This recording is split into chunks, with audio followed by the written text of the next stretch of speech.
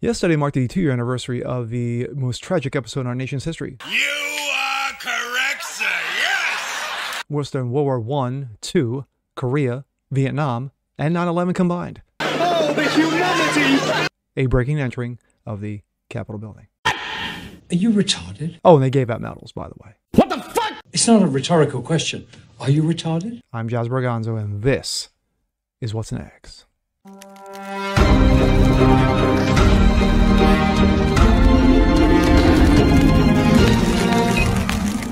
Hey guys, Jazz Berganzo here, another episode of What's Next, your daily dose. Hope you guys are doing well on this Saturday night. Of course, this is the weekend edition. Two years.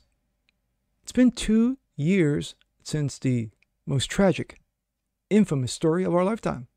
More so than World War One, World War Two, Korea, Vietnam, Iraq, 9 11. You know, the breaking and entering of the Capitol building by a group led by Chewbacca. Yeah, two years. What have we learned?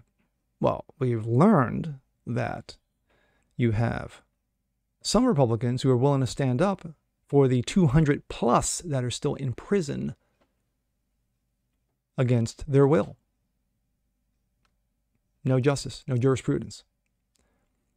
And then, of course, you have the leftist media and the Democrats who've been running around saying this is the worst tragedy since, you know, since Thanos snapped his fingers. But what have we truly learned? Well, we know from those who have common sense that this was all bullshit and garbage and nonsensical trash. And then, of course, you have the truly innocent who were affected by this, including one woman who was innocently killed because she decided to protest. But you wouldn't know that, would you? Because, of course, Dementia Boy was giving out medals to these so called brave cops on and of January 6th. Let's take a look. This comes out of Washington Examiner. House Speaker drama overshadowed January 6th ceremony marking the two year anniversary. House Democrats had a remembrance ceremony for the officers named uh, harmed in the line of duty on the two year anniversary of Capitol riot, while congressional reporters remain transfixed on the fourth day of the House Speaker's race. House Minority Leader Hakeem Jeffries and former Speaker of the House Nancy dried up vagin Seahag Pelosi commemorated the services of the officers with a moment of silence Thursday morning. Quote, as a result of the events of January 6th, the lives of five heroic officers were lost. No, not one police life was taken. And uh, we'll talk about that in a bit. 140 officers were severely injured that day. Many more will forever be scarred by the bloodthirsty violence of the insurrectionist mob. We stand here today with our democracy intact because of those brave and valiant officers. And that was Hakeem Jeffries. Pelosi, who at times appeared emotional, dabbing her eyes with a tissue, added, We will always carry the memory of their family members in our hearts. Our tribute is also to those who suffered psychologically and otherwise protected our democracy. U.S. Capitol Police Officer Brian Sicknick, who faced physical altercations with the riots, died that day at the riot after the riot from a stroke. Yes, he did not get it bashed in the head with a fire extinguisher, he died of a stroke per DC coroner's office. Gee, it's amazing what facts will tell you. Officer Howard Liebengood killed himself on January 9th of 2021. Yes, he was not killed at the Capitol. He took his own life. After working on a fallout from the riot almost nonstop. Officer Jeffrey Smith, who was injured in the riot, killed himself several days later. Two more law enforcement, uh, law enforcement officers, Kyle Freitag, Kyle DeFreytag, and Gunther Hashida, killed themselves in the following months through the connection to the events of January 6th. Isn't, you know, it's, it's not really that clear what connections they could be, but interesting. One dies of a stroke, and the other four happen to mysteriously bump themselves off. The Washington Post reported that authorities drew no connection between the riot and Hashida's death. During the January 6th committee's uh, public hearing, officers testified to the trauma that occurred during the riot. Quote, Never in my wildest dreams did I think that as a police officer and a law enforcement officer, I would, and pretty much isn't the same thing, I would find myself in the middle of a battle, of a war. Officer Caroline Edwards said at the June hearing. I am trained to detain a couple of subjects and handle a crowd, but I'm not combat trained. And that day, it was just hours of hand to hand mortal combat. McCarthy is staring down 20 members of the House, but he already gave the order for the metal detectors around the House chamber to re- be removed. The detectors were placed in added security following the tragic Capitol riot. But we go from that to this one of the true tragedies of January 6th, Ashli Babbitt. Breaking, uh, breaking, of course, this was at the time. Ashli Babbitt's mother arrested outside the Capitol. You murdered Ashli inside the Capitol. Now you're going to arrest her? One onlooker said. I did not murder her daughter. One officer replied in front of the crowd of people. The mother of Ashli Babbitt, a woman killed, uh, the woman killed in the United States Capitol uh, by U.S. Capitol Police on January 6th, was arrested outside the Capitol on Friday, two year anniversary after her daughter's tragic death. The footage circulated on social media by streamer Woke Societies. Micki Witthoeft had been seen handcuffed and taken into custody by multiple police officers while onlookers protested. Ashli, Ashli Babbitt's mother arrested at the Capitol. They murdered her daughter two years ago. This is the regime. She was supposedly arrested on jaywalking.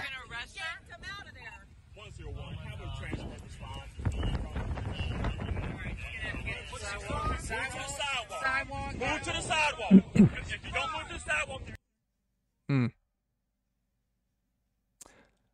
This was Matt Gaetz and Marjorie Taylor Greene with you know, Ashli Babbitt's mother. Right now, first of all, our condolences to you on behalf of everyone at Right Side Broadcasting and of all Americans. We we are very are, you're in, remain in our prayers, not just now but forever. Um, what would you like to say to the media watching, or and, and to the the American people watching right now? I would like to say that this was a protest, not an insurrection, and the mainstream media needs to stop pushing that narrative forward. And it, at this point, that should be a libelous comment. Amen. My daughter was a proud American patriot. She served this country her whole adult life.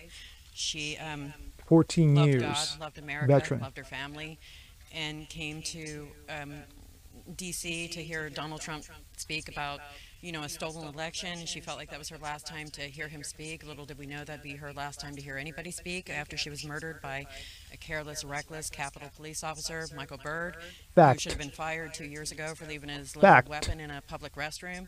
I feel like the Capitol Police need to. And he should be change the way they serving 30 years because of this. Which I did not know until my daughter was publicly executed.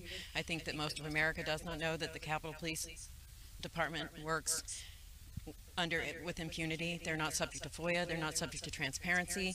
They are another arm of uh, Congress, and they don't answer to an external review like every other police department in this country. My daughter was an amazing, energetic, independent, powerful woman. And I miss her every day. And I'm here because Americans do have the right to protest. It's your right as an American citizen to protest. I would also like to say to Nancy Pelosi, this is not your public, this is not your playhouse, and is not your private domain. The, the surveillance cameras were put up to capture what happened that day. The American people have a right to see the 14,000 hours of footage.